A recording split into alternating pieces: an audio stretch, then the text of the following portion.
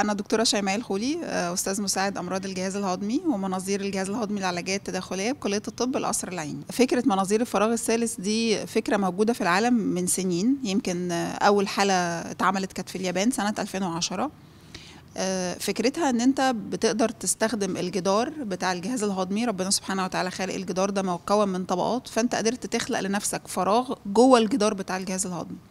قدرت تعمل منه بعض الجراحات. أشهر حاجات هي لتقشير الأورام اللي هي بنسميها اي اس دي وتاني أشهر عملية اللي هي المريض اللي عنده مرض اسمه اكاليزي اللي عنده صعوبة في البلع فبتعمل له شق لعضلة فم المعدة أو عضلة الفؤاد آه، الفكرة بدأت آه، إن إحنا كان ده حلم بيراودنا. كنا من سنين طويلة جدا في ورشة عمل مناظير الجهاز الهضمي في القصر العيني. كل سنة كنا بنجيب الأجانب الخبراء الأجانب يعملوا الحالات دي عندنا هنا في مصر.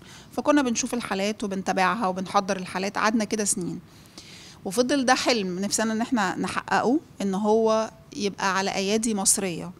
فسافرنا دول كتير يمكن سافرنا إنجلترا سافرنا النمسا آه، ولبنان آه، سافرنا دول كتير يمكن كان أكتر وهولندا برضو يمكن كان أكتر دولة آه، مؤثرة كانت هي الصين. سافرت الصين مرتين أول مرة كانت hands on training كده على حيوانات ثلاث أسابيع وبعد كده سافرت قعدت فترة في الصين ثلاث شهور أنا. واثنين من زمايلي دكتور محمد الشربيني ودكتور كريم عصام. أول واحد فينا كان محمد الشربيني وبعدين أنا وبعدين كريم سافرنا ورا بعض.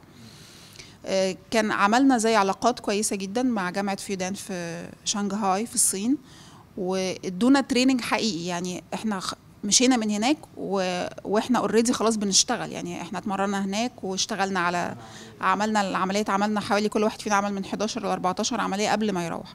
ولما جينا هنا بدأنا في مصر برضو جبناهم معانا في أول أول ست أو سبع حالات. عملنا ورشة عمل مخصوص وبدأنا الورشه العمل دي كانت لايف قدام الناس كلها.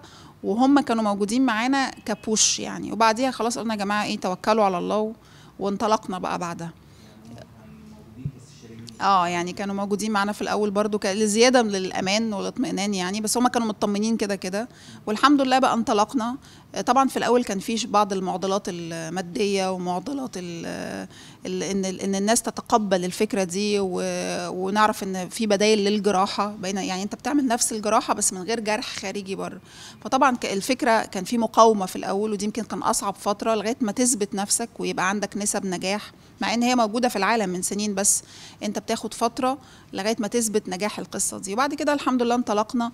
آه، سافرنا محافظات كتير في مصر يمكن اسكندرية الشرقية آه، يمكن دعمنا الفريق بتاع الشرقية لغاية ما بقى بيشتغل لوحده دلوقتي. وبعد كده زمايل لينا كمان سافروا الصين بعدينا والدنيا انطلقت في مصر دلوقتي وفي كذا حد بيشتغل.